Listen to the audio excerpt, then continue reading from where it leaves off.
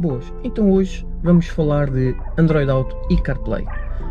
Recebemos aqui um BMW X1 de 2019 em que não foi possível na marca instalarem este extra, pois disseram-lhe que seria só possível quando traz a instalação uh, de fábrica. Não conseguem fazer um pós-venda deste serviço. Uh, não sei se será assim para todas as marcas, mas este foi o caso. Entretanto, o, o cliente veio ter connosco e pediu-nos se tínhamos aqui alguma solução e isto foi o que nós conseguimos fazer.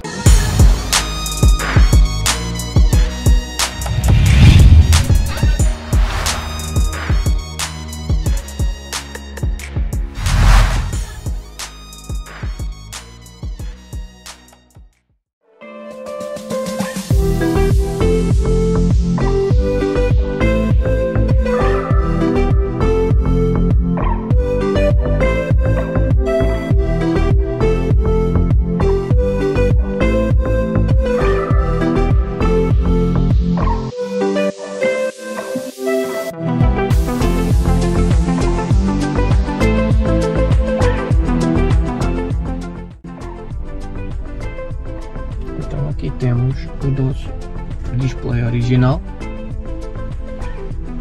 O nosso iDrive onde vamos controlar tudo. E agora sim passamos a ter aqui o Android Auto. Também temos o CarPlay ativo em que ganhamos todas estas funções no nosso rádio. Agora aqui temos então o nosso CarPlay trabalhar.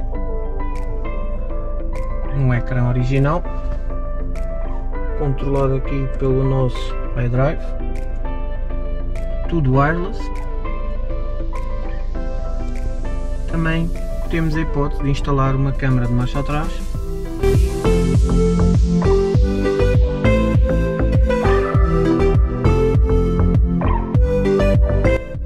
portanto já sabe quiser instalar o Android Auto e CarPlay no seu carro, não hesite em contactar a DC Customs.